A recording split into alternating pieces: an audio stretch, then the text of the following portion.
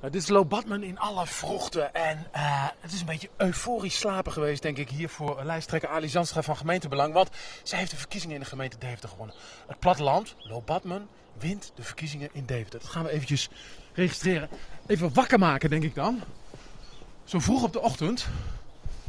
Eens even kijken, Zandstra-familie. En ze hebben een bel. En die doet het ook. En goed. Ik ben benieuwd. Ja! Mevrouw Zandstra, goedemorgen. Bent u wakker? Komt u even beneden. Even heel snel. Mevrouw Zandstra. Volgens mij heeft hij geen ogen dicht gedaan vannacht. Goedemorgen. Kijk eens aan, de grote baas zelf doet, doet op.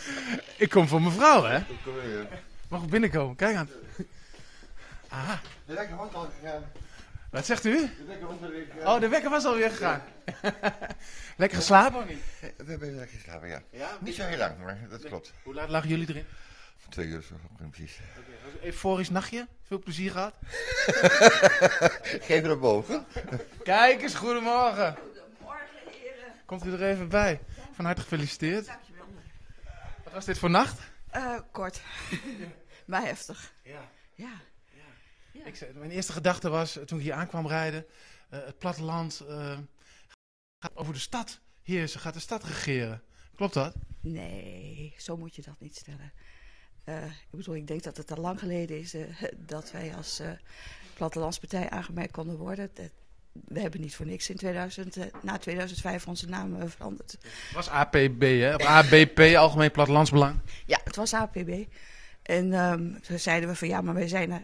Toen wij in 2005 in de raad kwamen en die periode hebben gedraaid, toen zeiden we ja, maar dat kan niet langer onze naam zijn. Want we hebben er eigenlijk ons ingezet voor de hele stad. En dat blijkt nu. Gaat er veel veranderen in Deventer?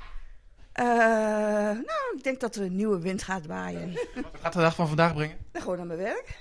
En, eh, Bij de provincie Overijssel? ja, bij de provincie Overijssel. En kijken hoe we dan verder moeten. Goed. Nou, eerst een bakje koffie, denk maar, hè? Oh, lekker hoesje, Ali.